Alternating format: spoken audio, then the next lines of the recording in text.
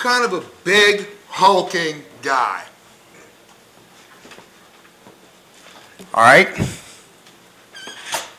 I live in Howard County, and I will not take my trash out after dark because of the ghetto dirtbag teens and the drunks that hang out at the liquor store at the strip mall next door. And I'm a big some bitch.